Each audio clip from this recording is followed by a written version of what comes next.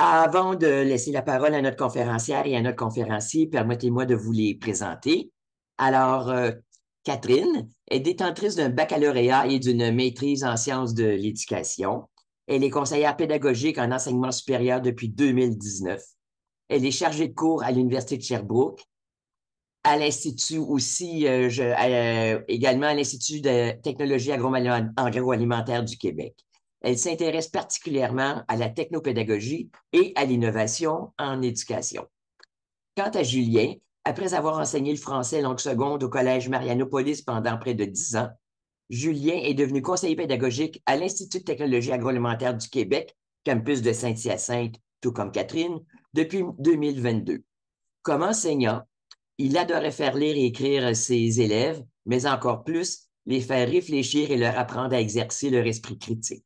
Pour lui, l'humour, la créativité et le dialogue gagnent à occuper une place importante en enseignement. Alors, bon webinaire, mesdames, messieurs. J'arrête mon partage.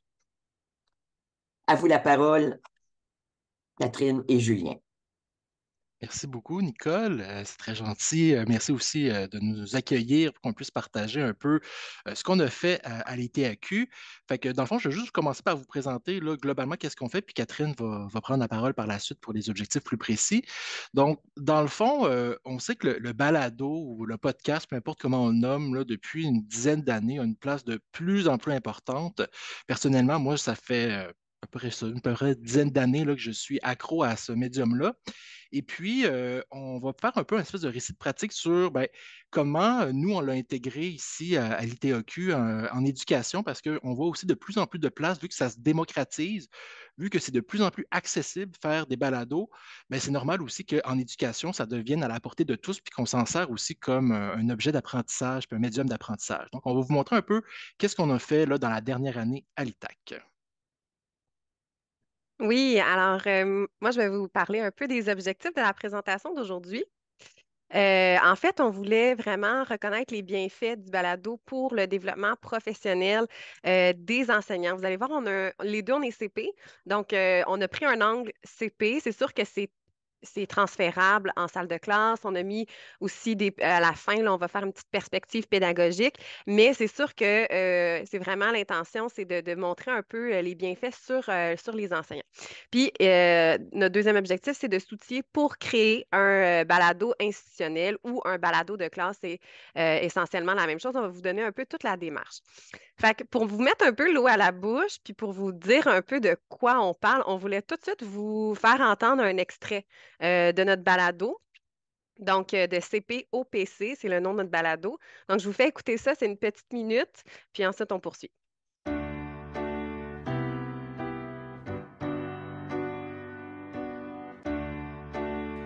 Catherine Gauthier. Hey, mais Julien, je peux-tu le dire une fois? De quoi? C'est ah, toi qui commence avec le Catherine. Ah, c'est vrai, t'as raison. Attends, on va...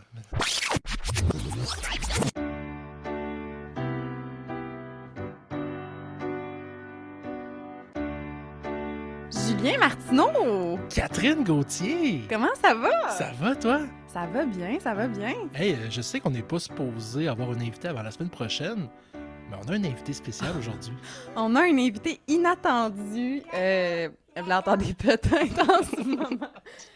Dû à l'apocalypse euh, verglas, euh, tout est fermé. Donc, j'ai apporté euh, mon fils à mhm. l'ITAC. Puis, il nous écoute enregistrer le podcast. C'est son premier podcast. C'est son premier podcast. Mais là, ça, ça montre quand même le dévouement des conseillers pédagogiques qui viennent au risque de leur vie, en fait, là, au péril de leur vie pour enregistrer un balado. Là.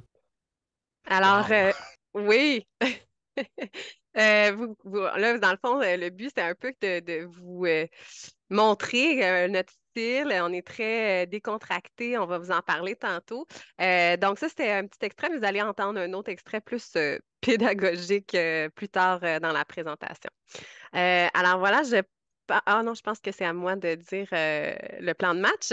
Alors, on va commencer avec l'historique. Ensuite, on va tout de suite vous parler des retombées parce que c'est vraiment le le cœur euh, de notre projet, c'est vraiment les, effets que ça a eu. Puis on a trouvé ça tellement positif qu'on s'est dit qu'il fallait en parler, donc on, va vous en parler. Euh, ensuite, Julien va vous parler un peu de la démarche, de comment ça s'est fait, ce projet-là, puis euh, qu'est-ce qu'on a utilisé comme outil. On va terminer avec des perspectives pédagogiques, puis on va faire une petite conclusion. Alors, à toi la parole, Julien. Merci, Catherine.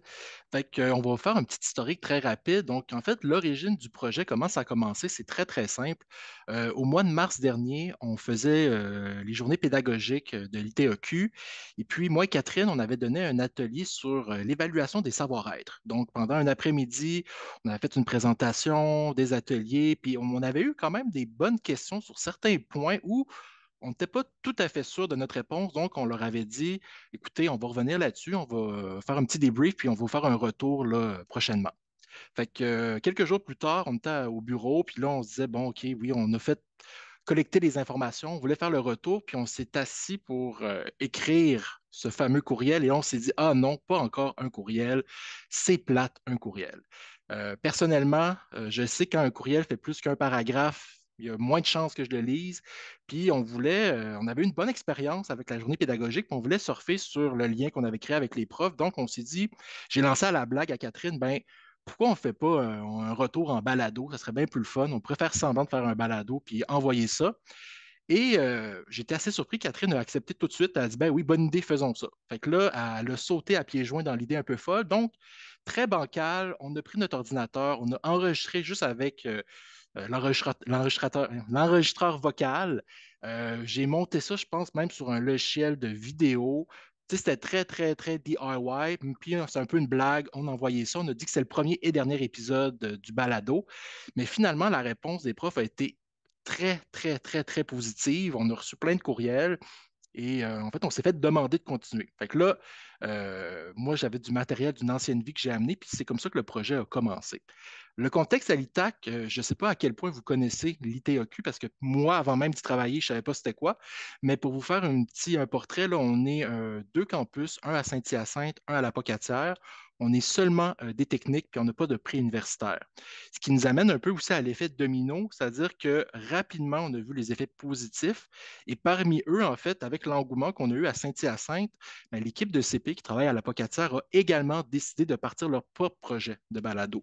Fait que ça, c'est une des choses qui nous a surpris aussi. Donc maintenant, on est chacun des campus, on a un balado où on couvre des sujets différents, puis on les publie à une semaine d'intervalle, ce qui fait que c'est accessible à tous. On se concentre vraiment sur notre monde, mais on a vraiment réussi à créer une espèce d'engouement sur l'ensemble des campus. À toi, Catherine.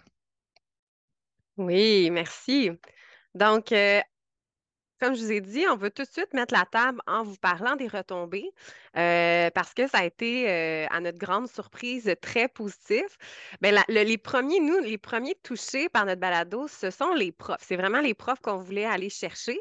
Euh, puis ça a vraiment fonctionné. En fait, ce que vous voyez, les photos, là, on a, on a deux profs, on a un gestionnaire, puis une conseillère au service adapté qui sont venus à titre d'invité sur, sur notre balado.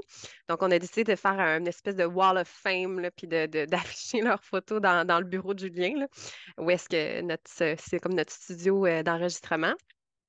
Alors, il y a vraiment eu euh, un espèce d'engouement pour les profs. La première chose qu'on a remarqué, c'est la proximité puis le contact qu'on a eu avec les, enseignants. En fait, ça a vraiment ouvert un canal de communication parce que euh, il y a des profs qu'on n'avait jamais vraiment discuté avant, qu'on n'avait pas parlé de pédagogie, qui venaient nous voir puis qui venaient nous relancer sur des, sujets dont on avait traité dans les, les épisodes. on a été surpris parce que ça a vraiment ouvert ce canal là Fait qu'on a vraiment apprécié euh, de jaser pédagogie avec ces profs-là. C'est sûr qu'on euh, a une formule très humoristique, légère. Euh, ça a permis d'un peu toucher tout le monde parce que c'est en fait ce qu'on a, vous allez le voir un peu tantôt, ce sont des discussions vraiment informelles. Euh, alors, ça a vraiment été une, solution au manque de formation parce que, comme le nommé Julien tantôt, nous, on est un institut technique. on, est, on a des expertises très pointues à aller chercher. Donc, on a vraiment des, des experts de contenu. Nos profs, ce sont des experts de contenu. Par contre, le bagage pédagogique, c'est souvent quelque chose qui est manquant chez nous. Puis, euh, on a vraiment, les profs ont vraiment un, manque de formation au niveau pédagogique. Pas tout le monde, il y en a qui, suivent des formations performantes, etc., mais c'est vraiment une minorité. Donc, on voulait, on veut vraiment répondre à ce besoin-là. Euh, puis le balado, c'est sûr qui permet, euh, qui permet ça. Puis la formule qu'on a utilisée, qui est très informelle, euh, ben, en fait, on vulgarise beaucoup. Là. On, fait ça très, très ludique, vraiment léger. Fait que, tout le monde se sent un peu concerné par ça parce qu'on ne va pas dans la grosse théorie. L'autre solution, en fait, c'est le manque de temps. Euh, auparavant, à l'ITAC, ce qu'on offrait, c'était vraiment euh, un programme de formation où est-ce qu'on allait euh, offrir trois, quatre ateliers par, session qui pouvaient durer une, deux, trois heures. Donc, ça, ça, prenait beaucoup de temps pour, pour les, enseignants de se libérer puis de participer à nos formations. Puis c'est ce qui nous nommait, c'est qu'il manquait de temps pour venir. Puis on, l'a vu aussi avec le taux de participation. On n'avait pas un super taux de participation dans nos, nos formations. Alors là, ce qu'on propose, c'est euh, un épisode à chaque deux semaines qui dure entre 10 et 20 minutes. Ils font ça en corrigeant, en faisant, en regardant leur courriel. Alors, ça a vraiment permis d'aller rejoindre les profs qui ne pouvaient pas se présenter à nos formations qui étaient plus longues. puis enfin, ça a permis aussi de toucher tous les profs. Euh, ce qu'on a aussi, un autre problème qu'on a ici euh, à l'ITAC, c'est qu'on a beaucoup d'enseignants qui sont contractuels pardon. Donc, euh, qui sont là vraiment juste le, temps d'enseigner, qui sont payés, euh, la session termine, puis eux aussi terminent en même temps que les étudiants. Donc, des fois, nous, nos formations, ben, on va les offrir euh, à l'extérieur de ces heures-là, donc ils ne sont pas disponibles, ils ont d'autres emplois. donc, la formule qui est en asynchrone permet de rejoindre ces enseignants-là qu'on ne pouvait pas rejoindre auparavant. Donc, euh, vraiment, ça, ça fait un bon topo pour, pour les profs. Euh, puis, ils nous le disent verbalement, ils nous reviennent sur les sujets qu'on parle. Donc, on voit vraiment un effet bénéfique euh, sur les enseignants. Maintenant, ça a aussi eu des effets qu'on ne soupçonnait pas sur nous, les CP. premièrement, ça a permis de gagner du temps. Comme je vous ai dit tantôt, en fait, nous, on offrait vraiment beaucoup de webinaires, euh, de, formation, soit en présence ou, euh, à distance. Ça demande beaucoup de temps là, de, monter une formation. Tout le monde présent le sait, soit à titre de prof ou à titre de CP. Euh, ça, demande énormément de temps de veille, de monter le matériel de la formation, tout ça. Donc, on a choisi d'en faire moins, des ateliers en présence ou à distance, mais mieux. puis de vraiment mettre l'accent sur les balados. Donc, on diffuse à chaque deux semaines. Donc, nous, ça nous permet de, gagner du temps. Euh, c'est beaucoup moins demandant de, monter un balado, d'avoir un épisode de balado que de monter une formation. Puis, euh, comme je l'ai nommé tantôt, ça reste en asynchrone. Tantôt, Julien va vous montrer sur quelle plateforme on la diffuse, euh, mais ça reste dans le temps. Donc, moi, j'ai un prof cette semaine qui me dit Ah, je suis dans mes évaluations, fait que je suis allée réécouter votre épisode euh, sur les évaluations. Tu sais, ça, ça, vient répondre à son besoin dans le moment. Donc, ces, épisodes-là vont rester disponibles dans le temps. C'est sûr, ça assure aussi notre développement professionnel parce qu'on est comme en espèce d'état de veille constant. Hein. Nos épisodes sont à chaque deux semaines. Donc, à chaque deux semaines, on a une thématique. Il faut qu'on se prépare. Ben, en fait, je dis on, mais c'est plus moi qui se prépare parce que Julien, il a le rôle d'animation, d'anecdotes, de, de, blagues. Puis moi, j'arrive tout le temps avec mes, petits, mes petites feuilles à noter.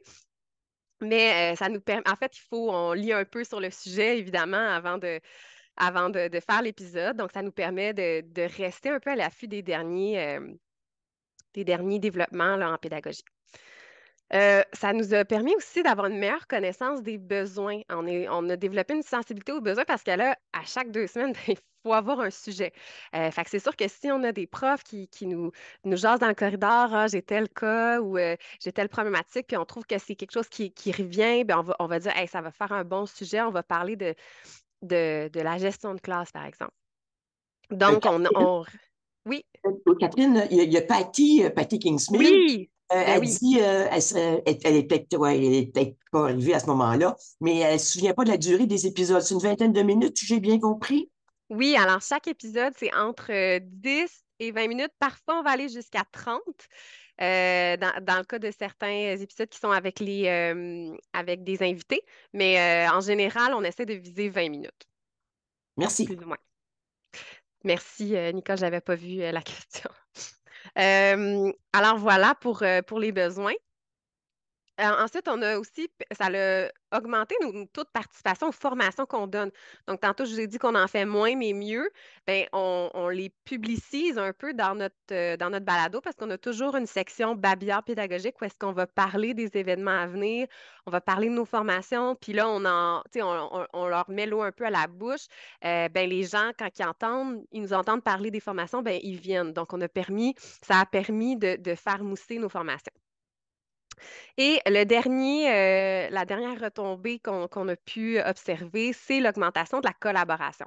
Euh, nous, en fait, on a commencé ça dans notre campus à, Saint-Hyacinthe, mais il faut savoir que l'ITAC a aussi un campus à la Pocatière. Et euh, nos collègues CP à la Pocatière ont décidé d'emboîter le pas et de faire aussi un balado dans leur campus. Donc, on fait certains épisodes qu'on collabore ensemble. Ça a permis cette collaboration-là. Puis, euh, c'est certain que ça a permis aussi la collaboration avec d'autres professionnels, comme euh, la conseillère aux services adaptés, les gestionnaires d'équipe qui viennent parfois parler ou comme à titre d'invité sur, euh, sur notre, notre balado. Donc, on a trouvé ça super intéressant, cet échange-là. Alors, c'est ce qui conclut un peu les retombées. là, je vais passer la parole à Julien pour la démarche. Merci beaucoup, Catherine, d'avoir mis l'accent sur le fait que j'apporte rien à part un peu d'humour et de, légèreté.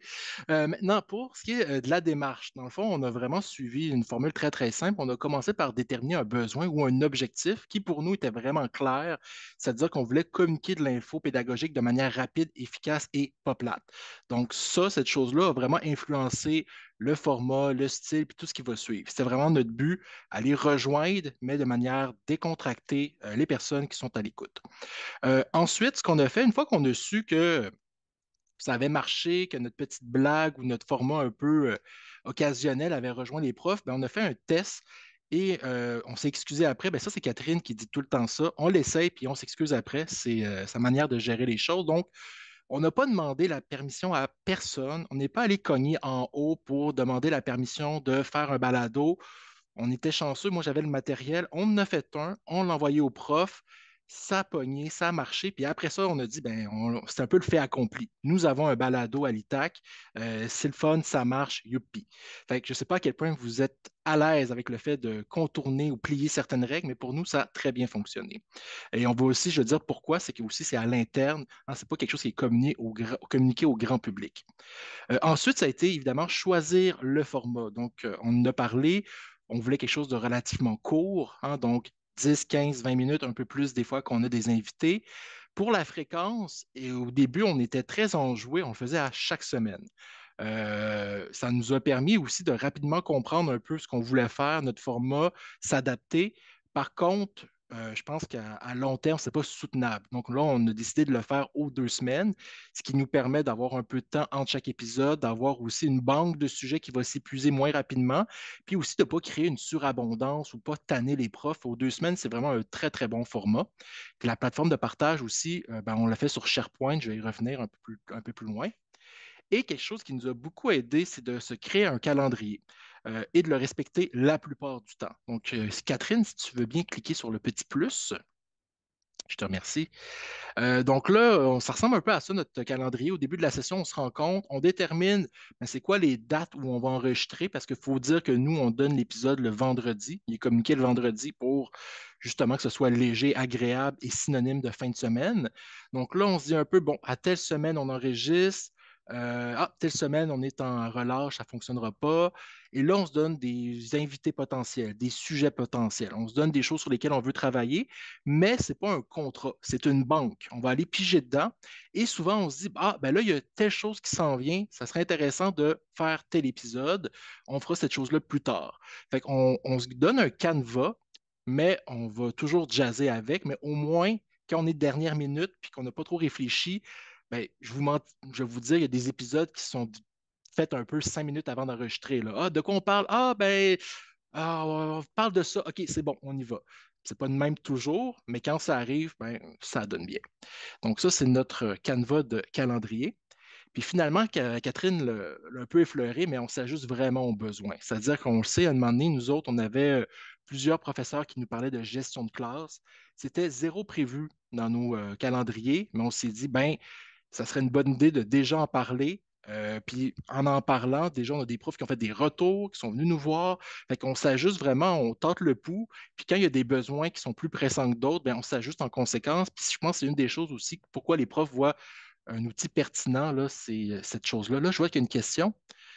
Quelles ont été les motivations pour décider que le balado reste à l'interne? Ah, ça, c'est une très, très bonne question. Bien, la première des choses, c'était en ne demandant pas la permission, euh, on achale moins de monde. C'est-à-dire qu'à l'interne, on n'a pas de communication, on ne doit pas être euh, passé par la représentante des coms, vu qu'on parle de l'ITAC.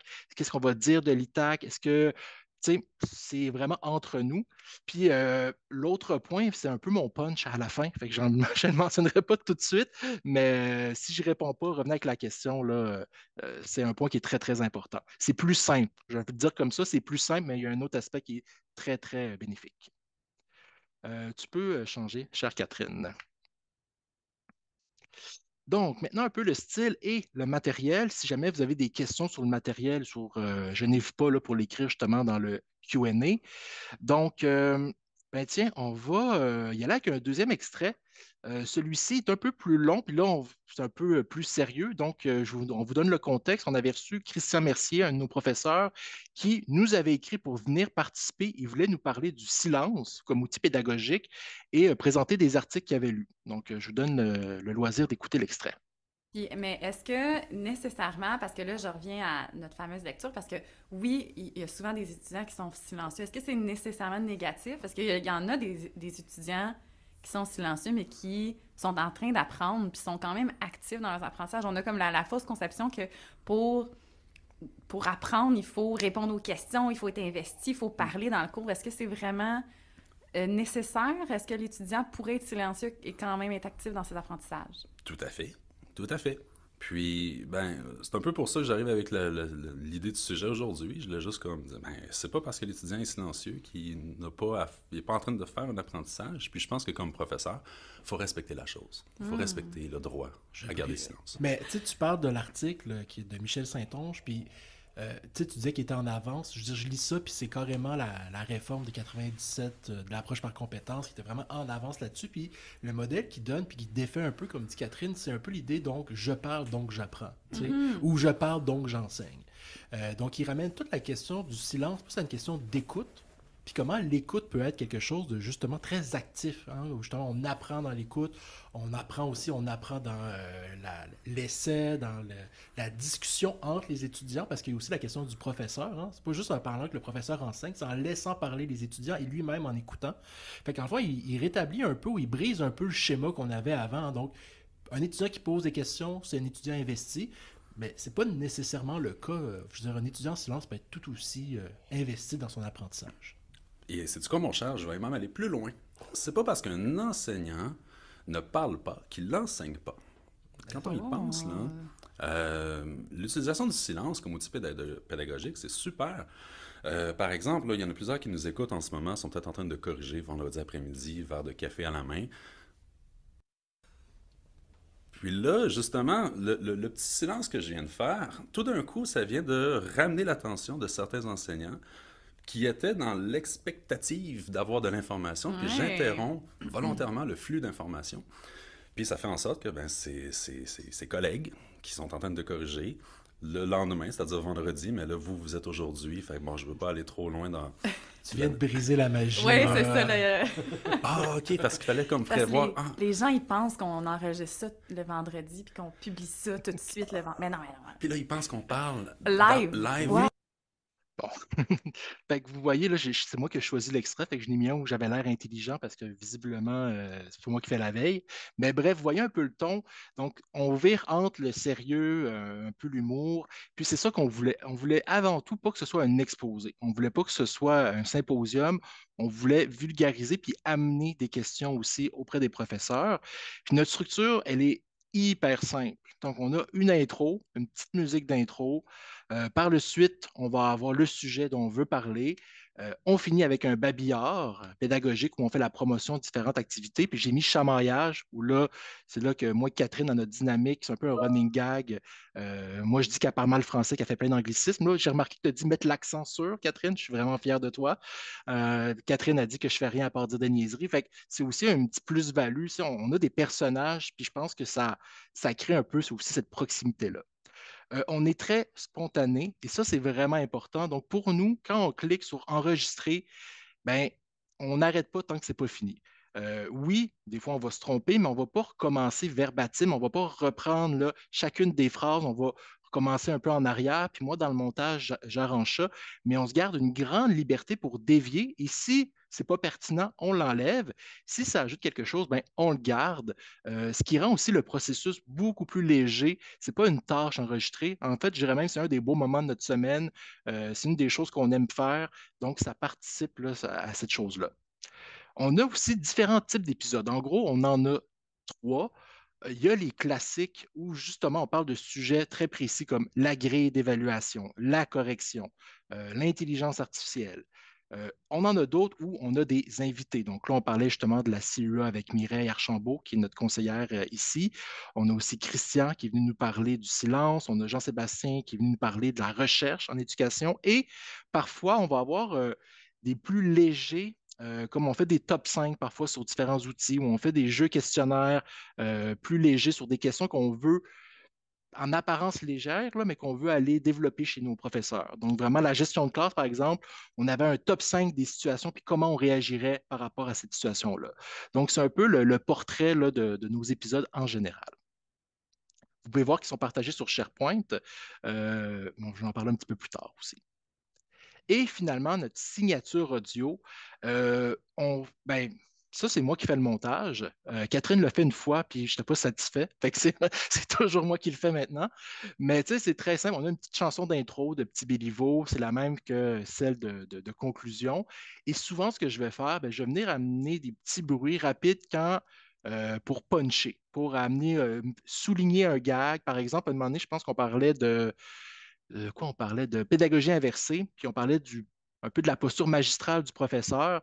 Puis on disait que c'est pas parce qu'on fait du magistral qu'on est d'un fille de Caleb, puis qu'on est Marina Orsini, là. Puis là, j'ai mis euh, l'intro de Marina Orsini, puis des filles de Caleb dans le balado. Fait que c'est des petits gags comme ça qui vont juste venir supporter, mais ça prend pas trop de place et c'est rapide à faire aussi pour moi. Fait que ça, c'est vraiment notre style en général. Est-ce long après l'enregistrement pour faire le montage?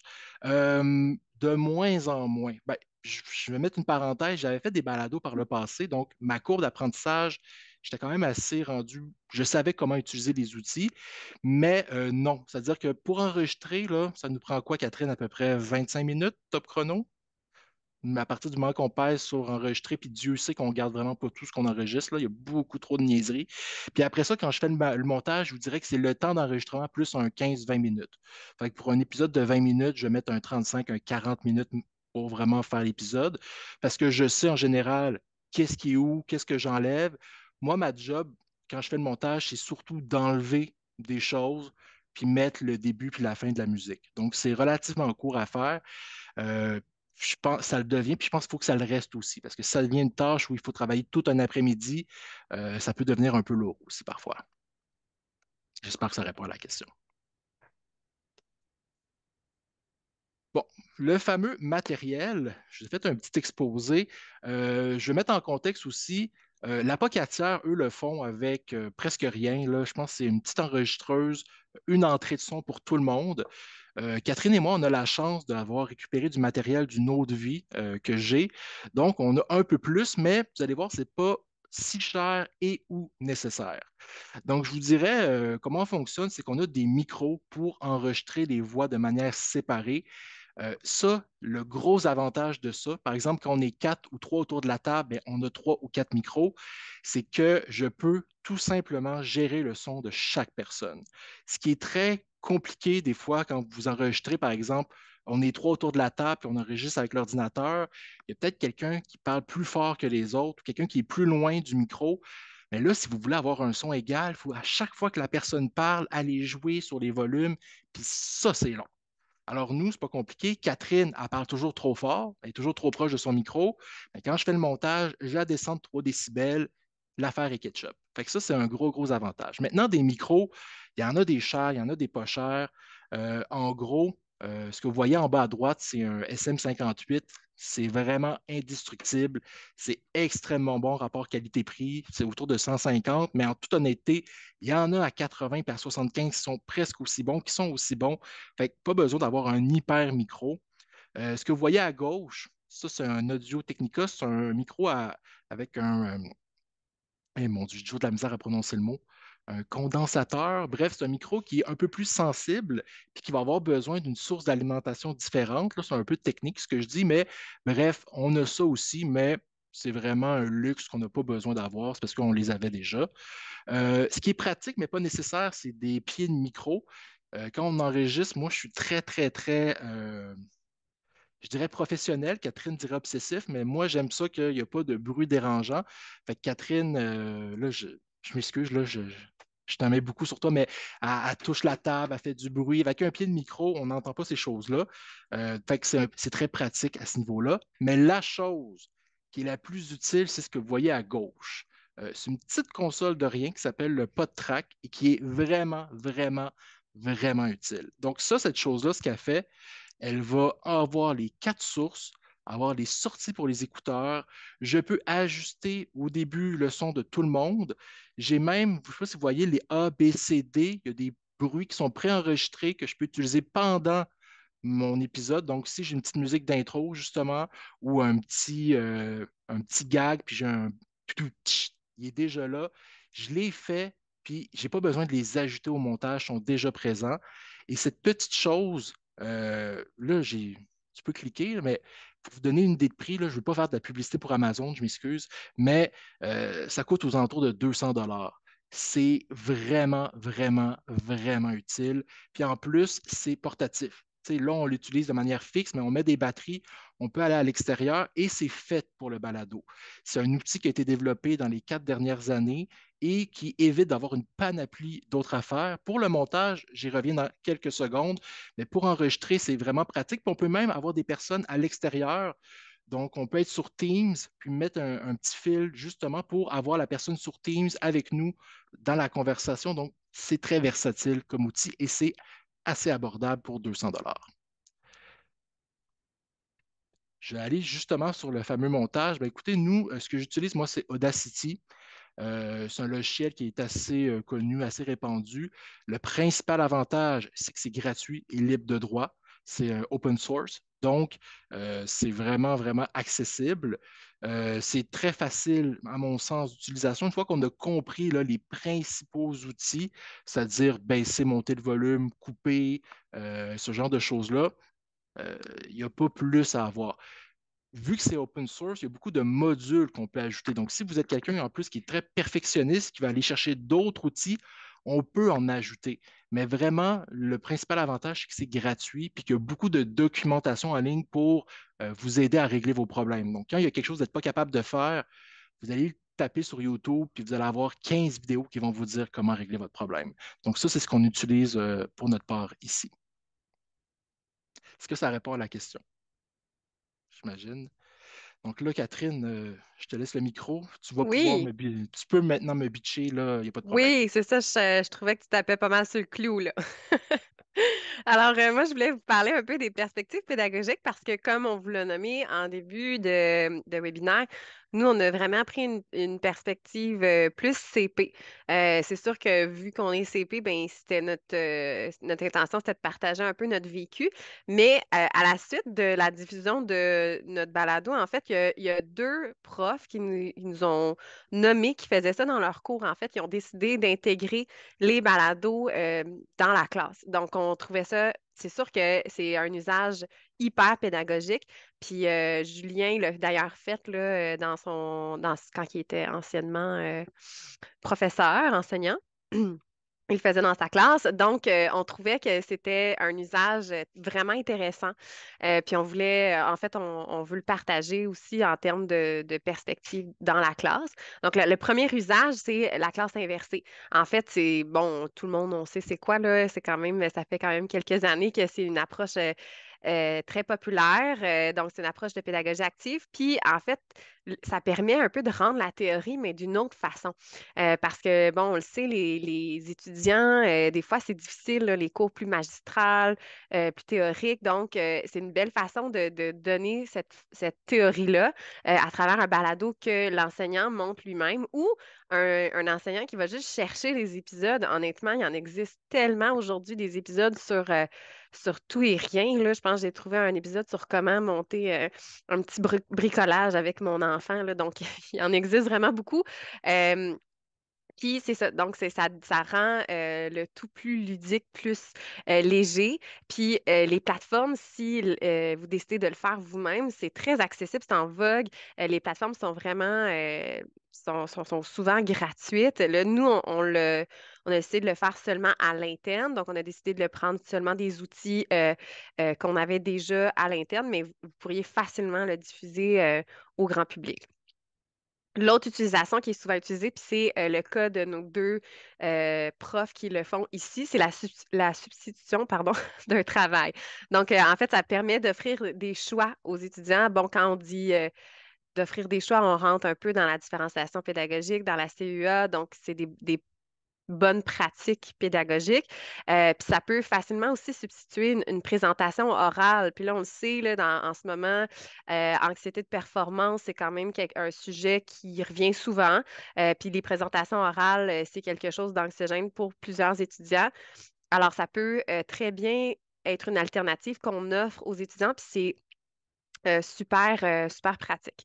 Euh, aussi, ça permet aussi la vulgarisation scientifique. On sait que ça fait partie des compétences de plusieurs programmes d'aller vulgariser la théorie. Donc, ça, ça se fait super bien. C'est un peu ce que Julien et moi, on fait dans notre balado. En fait, nous, on lit des articles, puis on le rend d'une façon vraiment très simple et ludique. Donc, ça, on peut demander ça aux étudiants. C'est sûr que pour le prof, ça permet un gain de temps au niveau de la correction. C'est aussi plus agréable à corriger d'entendre nos étudiants que de bon de lire des textes à pu finir. Donc, ça vient vraiment rendre ça plus agréable pour nous. puis c'est sûr, ça rejoint les compétences du 21e siècle quand on parle de, communication, d'exploiter les technologies, la créativité. Bien, ça touche vraiment l'ensemble de ces aspects-là.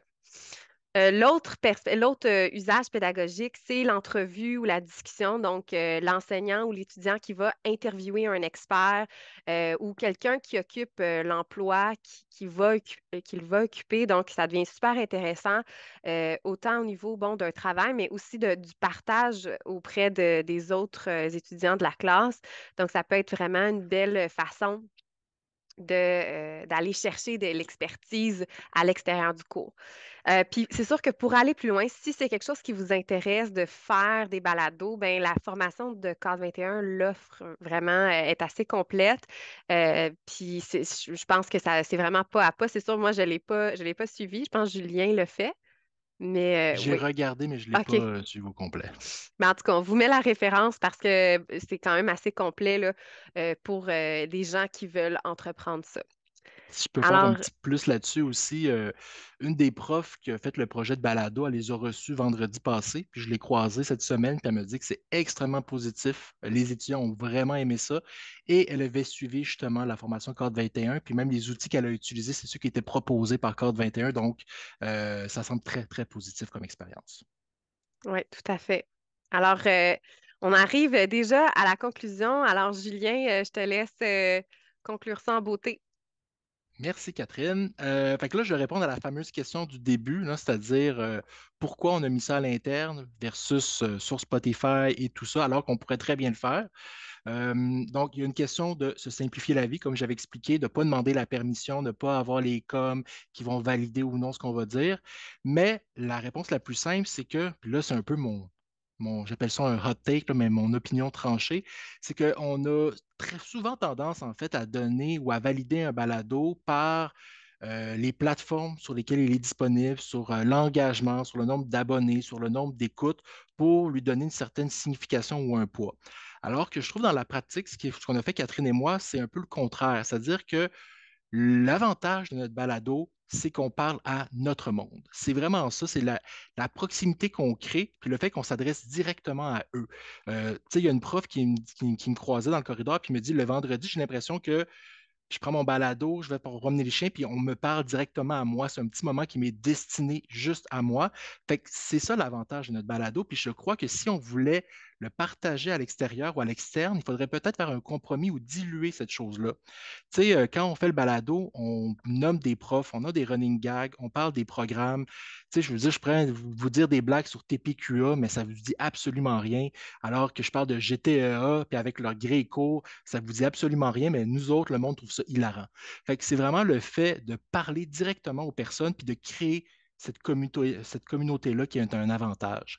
c'est pour ça qu'on a fait le choix que ce soit à l'interne, puis qu'on veut garder ça aussi. On trouve que ça nous permet d'aller plus loin et de se rapprocher des gens qu'on veut, à qui on veut parler.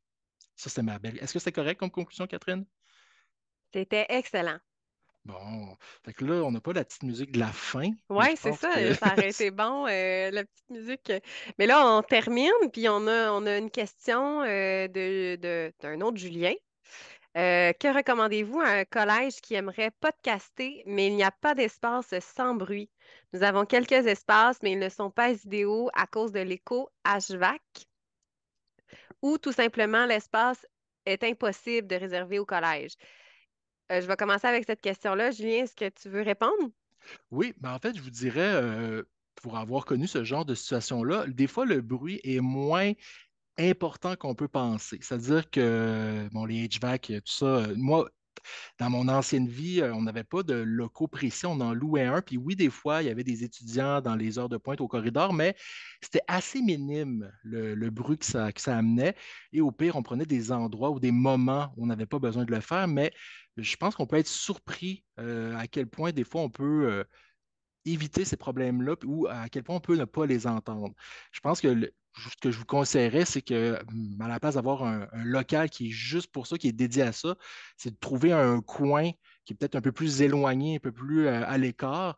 Et puis les problèmes de son, des fois, on peut les régler assez facilement euh, comme ça. bref, essayez-le, puis voyez à quel point c'est bruyant ou non. Ce serait mon premier conseil. Ouais, puis il faut, dire que nous, notre studio, il est dans ton bureau, hein, Julie? oui, il est dans mon bureau. Il est pas, euh, c'est pas, on n'a pas un local juste pour ça. Puis des fois, on enregistre, puis on entend euh, nos collègues qui travaillent de l'autre côté, qui sont en visioconférence, qui parlent. Euh, honnêtement, notre matériel, il est quand même bon pour ça. Là. Il coupe, il coupe quand même bien le son. Il y avait une deuxième question qui, qui était, et aussi, où peut-on accéder à la formation en podcast qui a été mentionnée? Ben, en fait, euh, ici, c'est euh, la formation de CAD 21 dans le Geniali. On a mis un lien qui mène euh, vers, vers directement vers la formation. Là. Et Nicole l'a partagé dans le chat. Ah, excellent, parfait. Donc voilà. Puis là, il s'excusait de ses, fautes, mais on, ça, ça a super bien été. J'ai tout compris. Moi aussi, le professeur de français langue seconde dit que c'est parfait. c'est excellent, vraiment, Catherine, Julien. Je dire, je pensais pas que c'était, je sais que c'est de la préparation, mais je savais pas que ça pouvait être en même temps aussi fluide que ça à produire un, podcast, un, balado. Je pensais que c'était beaucoup plus complexe que ça. Je sais que ça pourrait l'être aussi, mais je pense que vous avez retenu l'essentiel. L'essentiel, c'est de, de, de passer un message, de communiquer avec les gens. Vous le faites de façon conviviale, sans trop vous embarrasser de toutes sortes de considérations. Alors, euh, c'est ce qui rend probablement le, ce qui fait que vos post-4 sont tellement appréciés aussi là, avec les gens de, de, de, de, l'ITAC. Alors, euh, non, moi, je trouve ça vraiment encourageant. Puis je me dis, ça peut être un beau projet entre conseillers pédagogiques, effectivement. Euh, bravo, vraiment, c'était vraiment intéressant. Merci, Nicole. Là, je viens juste de voir que dans le chat aussi, il y avait une question. Ah, OK, je pense qu'on y a répondu. Par contre, c'est quel, quel outil utilisez-vous pour le montage? Oui, c'est ça. Euh, on y a répondu tantôt, c'est ça. Audacity, c'est ça. Alors, euh, j'in- j'invite les, les participants, bien sûr, à aller placer leurs petits commentaires euh, d'appréciation. Ça prend trois secondes pour remplir le, le- le formulaire. Puis pour nous, ça, ça nous est vraiment utile. C'était clair, c'était vraiment sympathique. Puis j'espère avoir le plaisir de vous rencontrer une autre fois. Puis je suis convaincu que nos, euh, participants ont aussi beaucoup apprécié. Alors, ben, on se dit à la prochaine. Alors, je vois que les, euh, les bravos entrent dans, dans, dans le chat. Alors, vous allez recevoir les bravos par le biais du document euh, qui va, qui va être envoyé à tout le monde. Alors, je vais rester encore quelques secondes de plus pour permettre aux gens d'écrire leurs petits commentaires ici. Puis, entre-temps, ben, je vous laisse euh, aller dîner aussi, Julien et Catherine. Et on se dit à la prochaine. Merci beaucoup et merci aux participants aussi. Merci, beaucoup. merci beaucoup, Nicole. Merci à tout le monde. Bye.